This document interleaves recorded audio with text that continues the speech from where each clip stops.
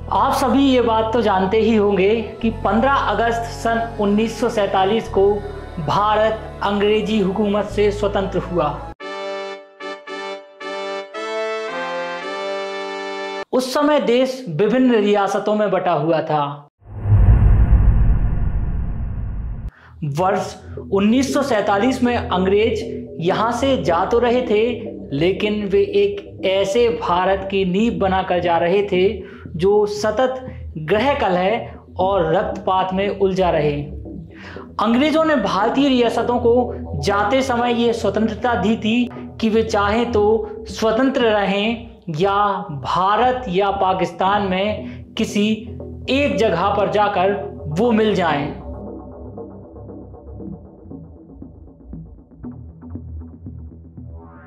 जून 1947 में हैदराबाद के शासक निज़ाम ने स्वयं को स्वतंत्र रखने का पत्र भेजा और स्वतंत्र रहने की तैयारी भी आरंभ कर दी। निज़ाम को इस काम में अंग्रेज़ों का मौन और मोहम्मद अली जिन्हा का खुला समर्थन मिला।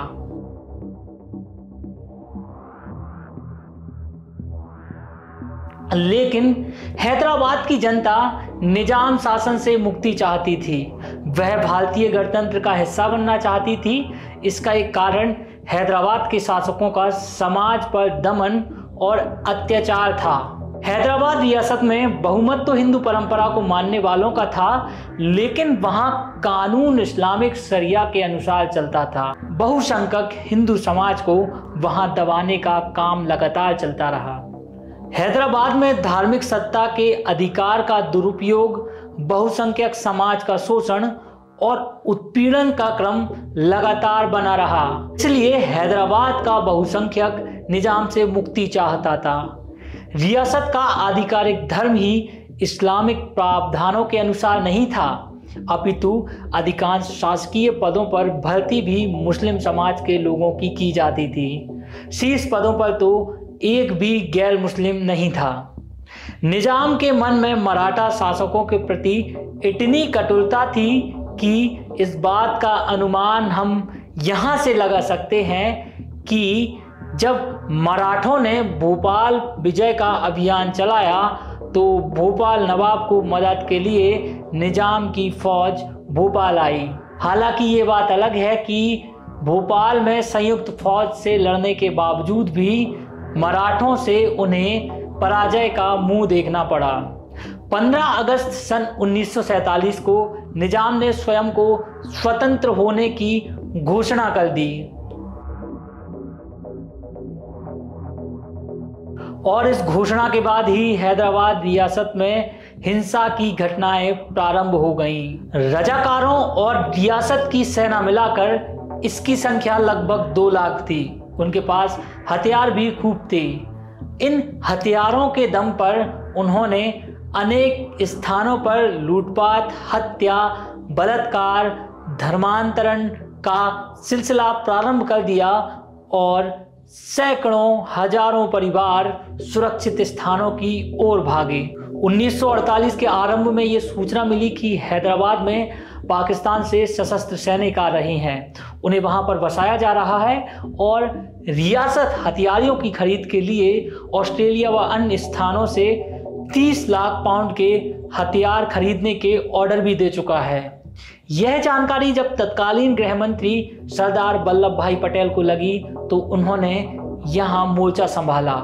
सरदार पटेल ने पहले तो निज़ाम को मनाने की कोशिश की कि वो भारत में विलय हो जाए, लेकिन जब सब कुछ सकारात्मक नहीं दिखा, सकारात्मक संदेश निज़ाम की तरफ़ से नहीं आया तो 9 सितंबर 1948 को उन्होंने चेतावनी पत्र जारी किया, लेकिन उसके बावजूद निज़ाम नहीं माना। और इसके बाद प्रारंभ हुआ ऑपरेशन पोलो।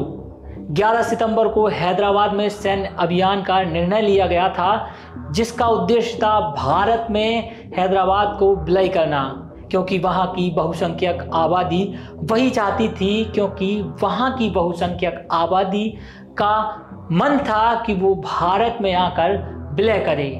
11 सितंबर को सैन्य अभियान प्रारंभ हुआ और इस अभियान को नाम दिया गया ऑपरेशन पोलो। 12 सितंबर को सेना को कूच करने का आदेश मिला। 13 सितंबर को सेना ने हैदराबाद में ऑपरेशन आरंभ किया। 17 की शाम निज़ाम ने समर्पण प्रस्ताव दिया और 18 सितंबर को विलीनीकरण दस्तावेज़ पर हस्ताक्षर हुए। अभियान में सेना के कुल तीन सौ उनतीस जवानों के प्राणों का बलिदान होने की जानकारी मिलती है। तो वहीं दूसरी तरफ़, निज़ाम की सेना के 807 सैनिकों को हमारे वीरों ने मौत के घाट उतार दिया। हैदराबाद रियासत, वर्तमान में भारत का हिस्सा है।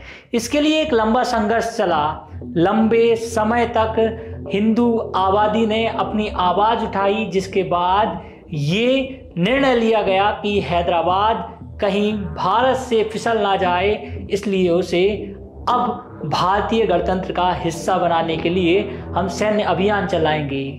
हैदराबाद रियासत के क्षेत्रफल लगभग बयासी हज़ार वर्ग मील का था, जो इंग्लैंड जैसे देश से भी अधिक था।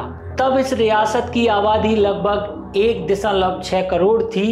इनमें अधिकतर पिचासी प्रतिशत हिंदू आबादी थी। और 11 प्रतिशत मुस्लिम व 4 प्रतिशत अन्य थे। यह देश की दूसरी सबसे बड़ी रियासत थी। उस समय रियासत के निज़ाम चाहते थे कि वो स्वतंत्र रहें और हिंदुओं पर खूब अत्याचार हो, इसलिए ऑपरेशन पोलो जैसे अभियान हमारे भारतीय सैनिकों द्वारा चलाए गए। अगर भारत में हैदराबाद विलय नहीं होता तो इतना बड़ा भूभाग भारत का हिस्सा नहीं होता, वहाँ के हिंदुओं पर अत्याचार होते रहते। उस समय तत्कालीन गृह मंत्री का यह निर्णय कि भारत में हैदराबाद को विलय करना ही है, काफ़ी सराहनीय था और ऑपरेशन पोलो ने इस बात को सफलता की तरफ़ ले जाकर हमारे भारतीय सैनिकों के शौर्य का परिचय दिया। आज हमने इस ऑपरेशन पोलो की बात क्यों की? क्योंकि आज 18 सितंबर है, आज वही दिन है जब भारत में हैदराबाद का विलय हुआ।